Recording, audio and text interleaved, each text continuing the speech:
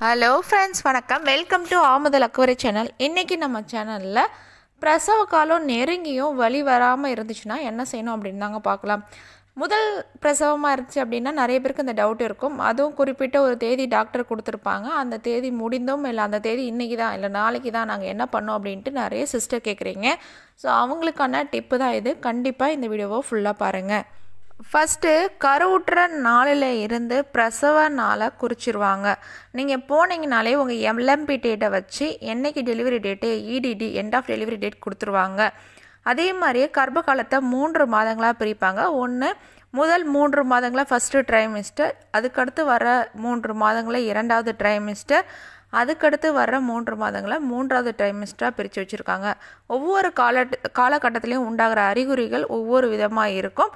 அந்த பிரச்சனைலாம் சமாளித்து நீங்கள் வரும்பொழுது கடைசியாக டெலிவரி டேட் வரும் இல்லையா? அந்த சமயத்தில் நீங்கள் ரொம்ப கவனமாக இருக்கணுங்க. ஏன்னா எட்டு மாதத்துக்கு அப்புறமா குழந்தை நல்லாவே வளர்ந்துருக்கும். எப்போ வேணாலும் பிரசவ வழி வரலான்னு சொல்லுவாங்க. பட் குறைந்தது முப்பத்தி ஏழாவது வாரமாவது ஆகணுங்க. முப்பத்தேழு வாரம் ஆயிடுச்சு அப்படின்னா அதாவது ஒன்பது மாதம் ஆயிடுச்சுன்னா இந்த ஒன்பது மாதத்துலேருந்து அந்த கடைசி பத்து நாள் பத்து மாதம் வரைக்கும் பிரசவ வலி எப்போ வேணாலும் வரலாங்க. அல்ட்ராசவுண்டு ஸ்கேன் மூலயமா முன்கூட்டியே பிரசவ தேதியை நம்மளால் சொல்லவும் முடியும் மருத்துவர்கள் சொல்லுவாங்க. அதுக்கடுத்ததாக சில பேருக்கு நாற்பது வாரமாக ஆகிடும் அப்பையும் வந்து வலியே வராது எந்த ஒரு பெயினுமே இருக்காது. ஸோ அதே மாதிரி சில பேருக்கு எது பிரசவ வலி எது பொய்யான வலி அப்படின்னும் கண்டுபிடிக்க முடியாது. ஸோ என்னதான் இருந்தாலும் ஒன்பது மாதத்துலேருந்து எந்த ஒரு வலி வந்தாலும் கவனமாக இருங்க. உங்களுக்கு அந்த சூட்டு வலின்னு சொல்லுவாங்களே அது வந்துச்சு அப்படின்னா சோம்பு கஷாயம் குடிச்சிங்கன்னா வலி ஸ்டாப் ஆகிடும் அப்படின்னா அது வந்து பொய்யான வலி. அதுக்கப்புறமா நீங்கள் நார்மல் ஆகிடுவீங்க இல்லை சோம்பு கஷாயம் குடித்ததுக்கப்புறமா கண்டினியூஸாக பெயின் வந்துகிட்டே இருந்துச்சு டென் மினிட்ஸ் ஒன்ஸ் அப்படின்னா அது பிரசவ வலின்னு தெரிஞ்சுக்கோங்க. உடனே மருத்துவமனைக்கு போய் அட்மிட் ஆகிடுங்க இப்போ அந்த குறிப்பிட்ட தேதி மருத்துவர் கொடுத்துருக்காங்க இல்லையா? அந்த தேதி கொடுத்துருந்தாங்க அப்படின்னா அதிலிருந்து ஐந்து நாட்கள் வரைக்கும் நீங்கள் காத்திருக்கலாம். அதுக்கப்புறம் வேறு ஏதாவது ஹெல்த் இஷ்யூஸ் இருக்குது உங்களுக்கோ குழந்தைக்கோ அந்த கர்ப்பகால பிரச்சனைகள் இருந்துச்சு அப்படின்னா நீங்கள் காத்திருக்கக்கூடாதுங்க ஸோ அந்த மாதிரி காத்திருந்தீங்க அப்படின்னா ஒன்றும் தப்பு கிடையாது. ஆனால் ஒரு வாரத்தை தாண்டியும் நீங்களாக வந்து வீட்டில் இருக்கக்கூடாது குறிப்பிட்ட தேதியிலிருந்து ஐந்து நாட்கள் வரைக்கும் இருக்கலாம். அதுக்கப்புறம் உடனடியாக உங்கள் மருத்துவரை போய் நீங்கள் சந்திச்சிருங்க. அப்படி இல்லைன்னா பிரசவ காலத்தில் பல பிரச்சனைகளை சந்திக்க நேரிடும். ஒரு குறிப்பிட்ட தேதியிலிருந்து நாலு நாட்கள் வரையிலும் வலி இல்லை அப்படின்றப்ப நீங்கள் மருத்துவரை அணுகுனீங்க அப்படின்னா அவங்க செயற்கை முறையில் வலியை உண்டாக்குவாங்க. இது நல்லாவே ஹெல்ப் பண்ணுங்க பலனளிக்கும். நிறைய பேருக்கு செயற்கை முறையில் வழி தூண்டி நார்மலாக இருக்குது அதே மாதிரியே மருத்துவர் கர்ப்பிணி பெண்ணோட வயது உடல் எடை வயிற்றில் இருக்க குழந்தையோட எடை எல்லாத்தையும் கவனத்தில் கொண்டு உங்களுக்கு சிகிச்சை கொடுப்பாங்க. அது குழந்தையோட ஆரோக்கியத்துக்கு ரொம்ப நல்லது. அந்த மாதிரி செயற்கை முறையில் உங்களுக்கு வலியை உண்டாக்கும் பொழுது ஈஸியாக நார்மல் டெலிவரி ஆகுங்க. ரெண்டுமே ஒன்று தான் இயற்கை முறையில் வர்ற வழியும் சரி செயற்கையாக தூண்டுற வழியும் ஒன்று தான் ஆனால் நீங்கள் போகிற மருத்துவமனையை கொஞ்சம் கவனத்தில் கொண்டுக்கோங்க. என்ன தான் நீங்கள் பத்து மாதம் ட்ரை பண்ணியிருந்தாலும் கடைசி காலத்தில் ஒருவேளை மருத்துவர் நினைத்தால் உங்களுக்கு சி செக்ஷன் பண்ண முடியும். ஸோ மருத்துவமனையையும் மருத்துவரையும் கவனத்தில் வச்சுக்கிட்டு கரெக்டான மருத்துவமனையும் மருத்துவரையும் சேர்ந்து தேர்ந்தெடுங்க.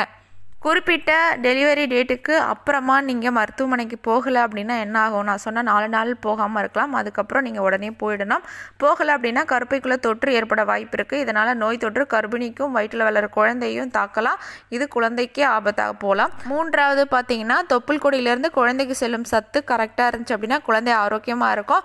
ஒருவேளை தொப்புள் கொடியோட செயல்பாடு குறையதற்கு வாய்ப்புண்டு. ஏன்னா நாற்பது வாரங்கள் ஆயிடுச்சு. அதுக்கப்புறமா தொப்புள் கொடியோட செயல்பாடு குறைய வாய்ப்பு இருக்குது இதனால் குழந்தைக்கு போக வேண்டிய சத்தும் குறையும். ஸோ இதனால் கொஞ்சம் கவனமாயிருங்க. குறிப்பிட்ட நாட்கள் தாண்டியும் பிரசவலி வரலை அப்படின்னா குழந்தையோட உயிருக்கும் ஆபத்தே வந்துடலாம். அதே மாதிரியே பனிக்குடம் சில பேருக்கு உடஞ்சி போயிடும். அவங்களும் உடனடியாக மருத்துவமனைக்கு போயிடணும். ஏன்னா பனிக்குடம் உடஞ்சிடுச்சு அப்படின்னா குழந்தைக்கு மூச்சு திணறல் ஏற்படும். பனிக்கூடத்தில் தான் குழந்தை மிதத்துட்டு இருக்காங்க. அது இருக்கிற வரைக்கும் தான் குழந்தை வந்து நல்லா சுவாசிக்க முடியும். ஒருவேளை பனிக்கூடம் உடஞ்சிடுச்சு அப்படின்னா நீங்கள் மருத்துவரை உடனடியாக அணுகுங்க. அதே மாதிரியே கர்ப்பிணி பெண்ணுக்கு அந்த வலி ஊசி போடுவாங்க இல்லையா? போட்டு உடனே பெயின் வந்துடும் அப்படியும் சில பேருக்கு பெயின் வரலை அப்படின்னா கண்டிப்பாக சி செக்ஷன் பண்ண தான் வாய்ப்பு உண்டு. ஸோ செயற்கை முறையில் பிரசவ வழியை உண்டாக்கி சுகப்பிரசவம் வர்றது நார்மலான விஷயந்தான் நிறைய பேருக்கு அப்படி தான் வரும். அதனால் நீங்கள் ஒன்றும் கவலையோ இல்லை பயப்படவோ தேவையில்லை. ஹாப்பியாக இருங்க. அவ்வளோதான் ஃப்ரெண்ட்ஸ் நம்ம சொன்ன விஷயங்கள் எல்லாத்தையும் கவனத்தில் வச்சுக்கோங்க. ஐந்து நாட்கள் வரைக்கும் நீங்கள் இருக்கலாம். அதுக்கப்புறம் உடனடியாக உங்கள் மருத்துவரை அணுகுங்க. வேறு ஏதாவது ஹெல்த் இஷ்யூஸ் இருந்தாலும் உடனே மருத்துவரை அணுக வேண்டியது அவசியம். பனிக்கூட நீர் உடஞ்சிருச்சு அப்படின்னா உடனே மருத்துவரை அணுகுங்க. குழந்தைக்கு மூச்சு திறனால் ஏற்படும்.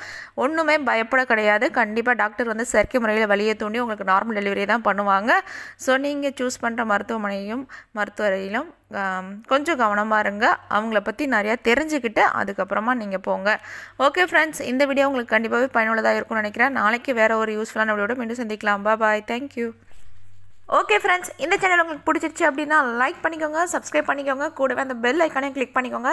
அப்போ தான் நான் தினந்தோறும் போடுற வீடியோஸ் நோட்டிஃபிகேஷனாக உங்களை வந்து சேரும். அது மட்டும் இல்லாமல் என்னையும் மோட்டிவேட் பண்ணும். நீங்கள் அதிகமாக லைக் பண்ணாதான் இது நிறைய பேருக்கு சென்றடையும். Okay bye